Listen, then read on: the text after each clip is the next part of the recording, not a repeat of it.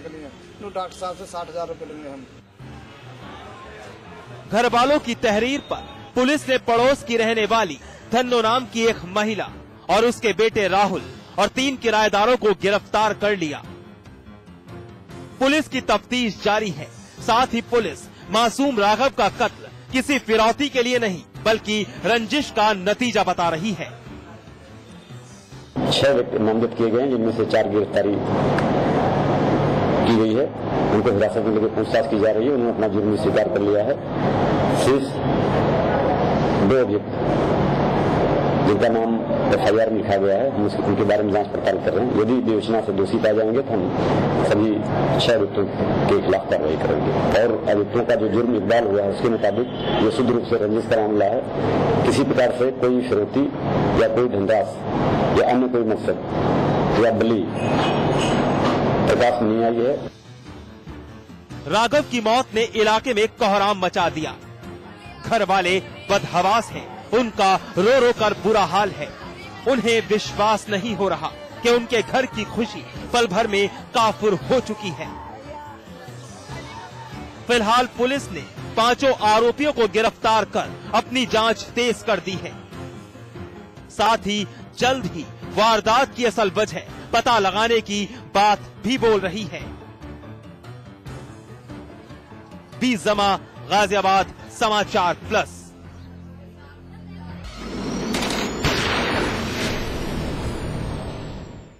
बहरहाल, एनकाउंटर में वक्त है ब्रेक का। ब्रेक के बाद दिखाएँगे रंजिश की आग।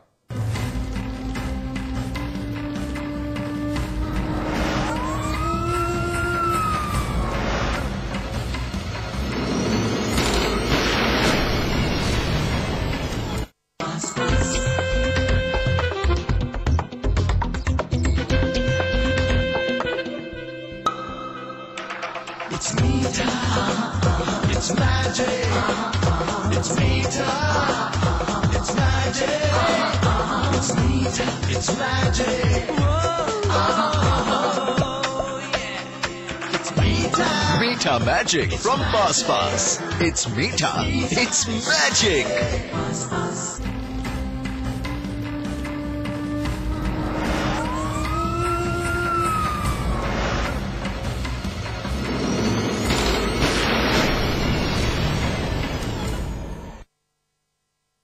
रंजिश की आग जब जलती है तो फिर कभी बुझती नहीं जब तक कि दोनों पक्ष की ओर से कोई एक इसे खत्म करने की कोशिश ना करे। कानपुर में यही नफरत की आग एक युवक पर इस कदर हावी हुई कि वो अपने दुश्मन को खत्म करने के लिए आमदा हो गया।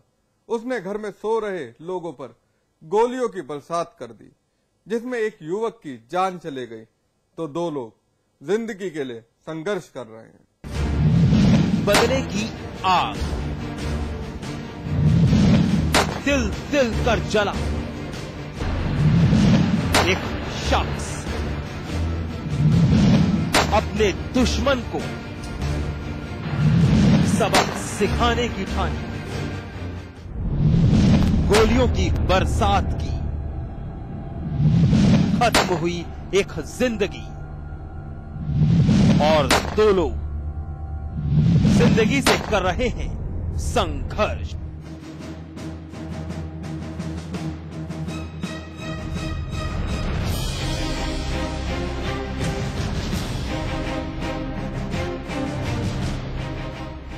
जी हाँ, नफरत की आग ऐसी ही होती है, जिसे वक्त रहते शांत नहीं किया गया तो ना जाने कितनी जिंदगियाँ बर्बाद हो जाती हैं, कितने घरों की खुशियाँ तबाह हो जाती हैं। कानपुर के चौबेपुर थाना इलाके में एक ऐसा ही मामला सामने आया है।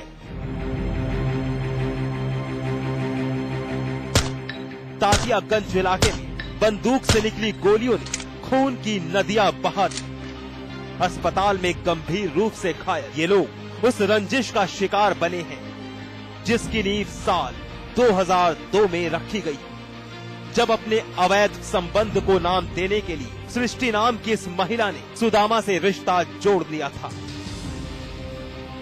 जी हाँ सृष्टि ने अपने पहले पति को दगा दी। सालों तक इनकी ज़िंदगी में सब कुछ ठीक चल रहा था। लेकिन वो इंसान अपनी इस बेजती को कभी नहीं भूला। बदले की आग में चल रहा था। आखिरकार वो दिन भी आया जब उसे मौका मिला तो बेफिक्री में सो रहे सुदामा सृष्टि और नन्हे पर गोलियों की बरसात कर दी जिसमें नन्हे की जान तो चली गई। वहीं ये दोनों अब ज़िंदगी के लिए संघर्ष कर रहे हैं।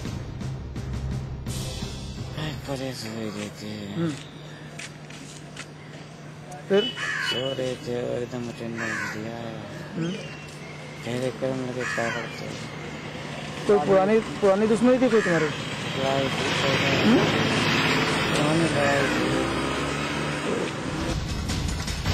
सुदामा और सृष्टि पर मौत का साया मंडरा रहा है। क्योंकि वो शख्स अब भी पुलिस गिरफ्त से आज़ाद है। फ़िलहाल पुलिस ने उस कातिल के खिलाफ मामला दर्ज कर लिया है। और उसकी गिरफ्तारी के लिए हर और दबिश डाल रही है। साथ ही सृष्टि ने अपने नए संबंधों के लिए उस शख्स के साथ जो किया, वो समाज की नज़र में गलत है।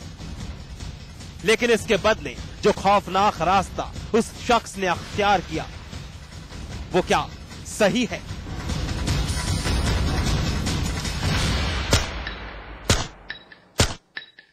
अश्वनी निगम, कानपुर। समाचार प्लस।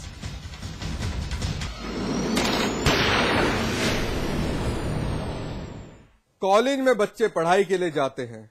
टीचर की कोशिश होती है कि आने वाले बच्चों को ऐसी शिक्षा दी जाए, जिससे कि वो अपनी ज़िंदगी में बुलंदियों को छुए। वहीं बच्चे भी अपने लक्ष्य के लिए जमकर मेहनत करते हैं। लेकिन जब उसी कॉलेज में बच्चे कलम की जगह तलवार उठा लें तो सवाल उठना वाजिब है। आखिर किस ओर जा रहे हैं हमारा आने वाला कल? देखिए ये रिपोर्ट।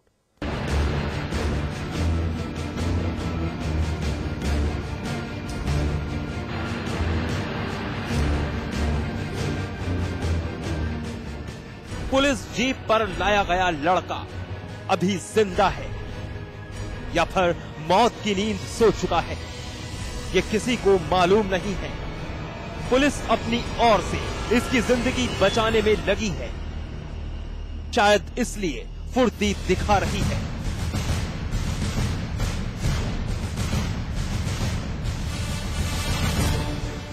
खुद स्ट्रेचर लाकर इस युवक को डॉक्टरों के हाथों सौंपने के लिए आतुर भी है। अब डॉक्टर ये जानने की कोशिश में लगे हैं, ये ज़िंदा है या फिर इसकी मौत हो गई है। लेकिन अफसोस, पुलिस और डॉक्टर की ये कोशिश बेकार गई। रुड़की के झाबेरड़ा गाँव के रहने वाले इस लड़के की मौत हो गई है। वो हमेशा के लिए गहरी नींद में चला गया है। दरअसल, मृतक चौधरी भरत सिंह इंटर कॉलेज में पढ़ता था। हर रोज की तरह वारदात के दिन भी वो कॉलेज पढ़ने के लिए गया था। लेकिन उसी कॉलेज में छात्रों के दो गुटों में विवाद हो गया। ये विवाद इतना बढ़ गया कि दोनों गुटों की ओर से तलवारें और चाकू निकल गए। फिर क्या था? इस खूनी खेल का शिकार बन बैठा ये लड़का। लड़के पर चाकू से कई बार किए गए, जिससे अस्पताल पहुँचते ही इसने दम तोड़ दिया।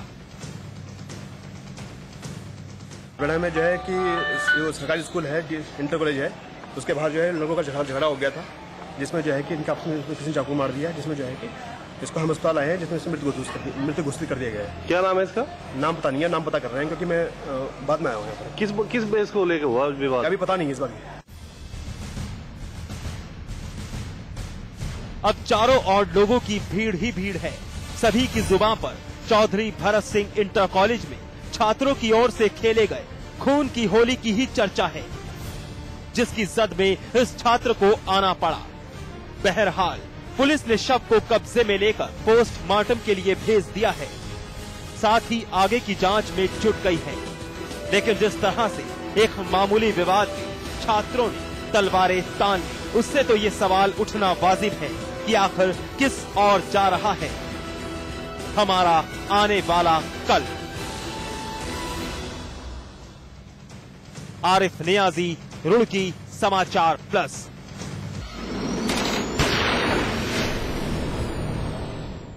एनकाउंटर में, आज बस इतना ही। लेकिन हमारी आपसे एक अपील, मुस्तैद रहिए, जुर्म की हर उस दस्तक को सुनिए, जो कभी भी आपकी दहलीज पर दस्तक दे सकती है। नमस्कार।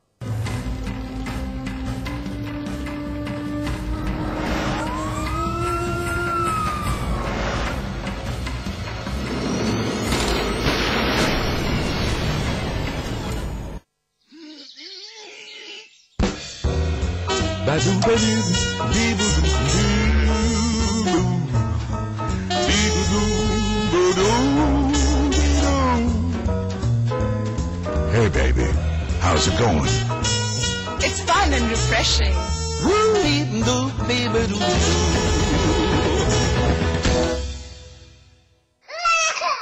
Puss Puss, the fun and refreshing mouth freshener.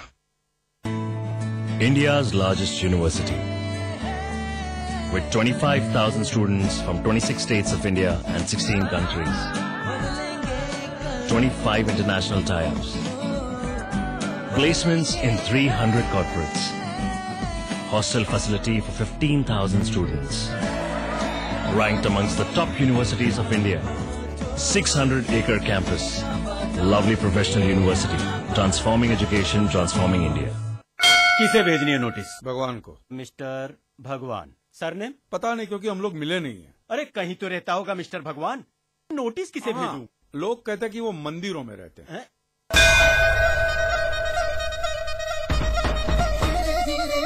आपका झगड़ा भगवान से है ना? तो डायरेक्ट भगवान से पैसे मांग लीजिए ना। घर में जब कभी भी बिजली का प्रॉब्लम होगा तो आप रिलायंस के ऑफ़िस में ही फ़ोन करेंगे ना। सीधे अनिल अंबानी को तो नहीं बुलाएँगे ना। बुलाइए वो शिव जी गणपति जिससे भी आपकी पट्टी हो। तेरे जैसे तुच्छ मनुष्य के लिए भगवान धरती पर नहीं आएँगे। ये तो आएँगे।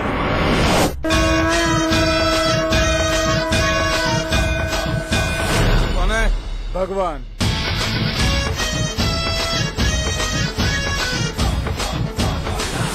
सूट बूट में आया कन्हैया मेरी बैंड बजाने को।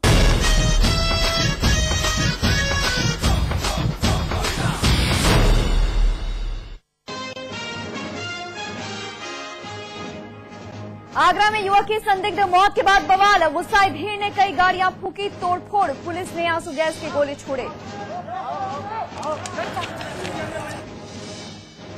यूपी के छह जिलों में सड़क हादसे। पंद्रह से ज़्यादा लोगों की मौत, तीस से ज़्यादा घायल।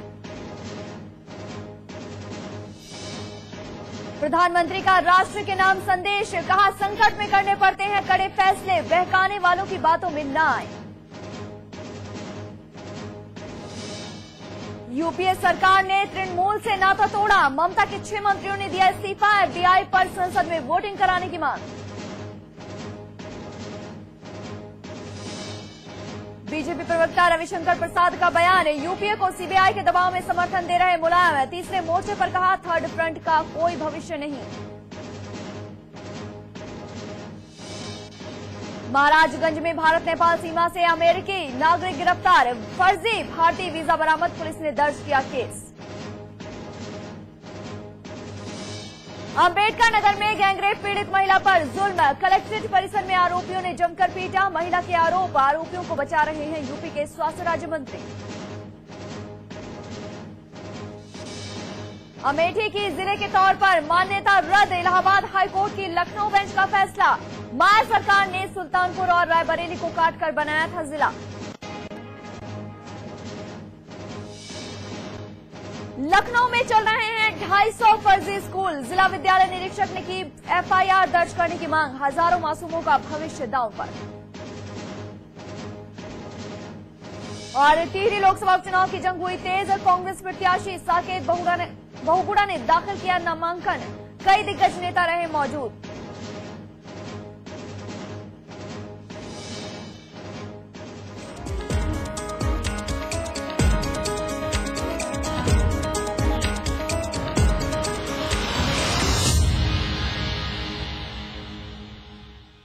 प्रधानमंत्री डॉक्टर मनमोहन सिंह ने राष्ट्र के नाम संबोधन किया है। मनमोहन सिंह जी ने अपने संबोधन में बहुत साफ़ साफ़ कह दिया है कि देश को कड़े आर्थिक फैसले लेने पड़ेंगे ताकि आर्थिक सुधारों की गति को और तेज किया जा सके। इसमें कोई नाराज़ होता हो तो होता रहे। प्रधानमंत्री ने कहा, हमने दाम क्यों बढ़ाए? ये जानने का हक है इस देश को। हमको डीजल के दामों में सत्रह रूपए की बढ़ोतरी करनी थी, लेकिन हमने सिर्फ़ पाँच रूपए बढ़ाए। हमसे कहीं ज़्यादा बुरी स्थिति यूरोपीय देशों की है। प्रधानमंत्री मनमोहन सिंह ने कहा कि पैसे पेड़ पर नहीं उगते। हम 80 फ़ीसदी कच्चे तेल का आयात